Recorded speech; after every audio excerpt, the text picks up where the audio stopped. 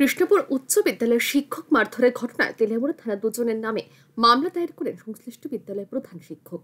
গত পনেরোই নভেম্বর কৃষ্ণপুর উচ্চ বিদ্যালয়ের কম্পিউটার শিক্ষক বিপুল বিশ্বাসের বিরুদ্ধে বিদ্যালয়ে ছাত্রদের কুরুচিকর মন্তব্য করার অভিযোগ এনে উচ্ছৃঙ্খল ছাত্রছাত্রী সহ অভিভাবকেরা বিদ্যালয় চত্বরে রীতিমতো তাণ্ডব শুরু করে।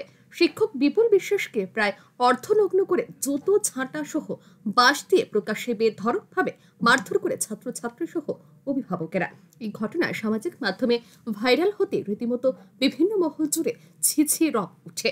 সেই সঙ্গে ছাত্রছাত্রী এবং অভিভাবকদের বিরুদ্ধে বিদ্যালয়ের সরকারি সম্পত্তিও ভাঙচুর করারও অভিযোগ ওঠে। ঘটনার খবর পেয়ে ঘটনাস্থলে ছুটে যান বিদ্যালয়ে এসএমসি কমিটির সদস্য সহ তেলিয়ামুড়া থানার পুলিশ পরিস্থিতি সামাল দিতে শিক্ষক বিপুল বিশ্বাসকে থানায় নিয়ে যায় পুলিশ। পরবর্তীতে বিদ্যালয়ে ছাত্রছাত্রীদের পক্ষ থেকে তেলিয়ামুড়া থানায় ওই শিক্ষকের নামে অভিযোগ দায়ের করা হয় বলে জানা গেছে।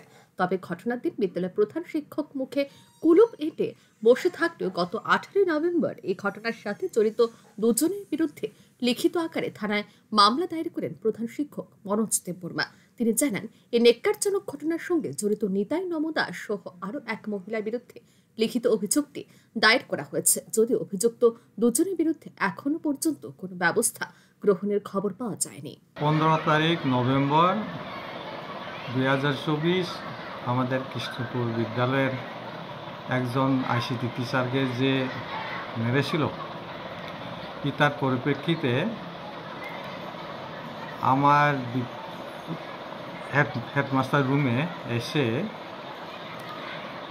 মানে অপরিচিত লোকই শুধু একজনের নাম জানি, দুইজন মারছিল আমি যেটা জানি। একজনের নাম নিতাই নমদাস আর একজন মহিলার নাম জানি না। পিতার, আমি তাইনের নামের বিরুদ্ধে তেলামুড়া থানাতে এফআইআর করছি। গতদিন আঠারো নভেম্বর দুই হাজার চব্বিশ। তো মূলত কি বিষয়ে এফেক্টটা করেছেন? আইসিটি টিচারকে মারা হয়েছিল গার্জেন আইনকে হাতে তুল্লা নিয়ে আসেন? নিয়ে আছিল এই জন্য। তো ওদেরকে কি এখন পর্যন্ত গ্রেপ্তার কিছু করা হয়েছে এরকম কিছু খবর পেয়েছেন? এটা তো আমি খবর পাইনি খবর পাইনি। আদৌ ওই ঘটনায় ওই শিক্ষকের কোনো দোষ ছিল কিনা? আর দোষ থাকলেও কেনই বা বিদ্যালয়ের ছাত্রছাত্রী এবং অভিভাবকেরা আইন নিজেদের হাতে তুলে নিলেন? এই বিষয়ে আইন কি পদক্ষেপ গ্রহণ করে? সেটাই এখন দেখার বিষয়। রিপোর্ট আর নিউজ।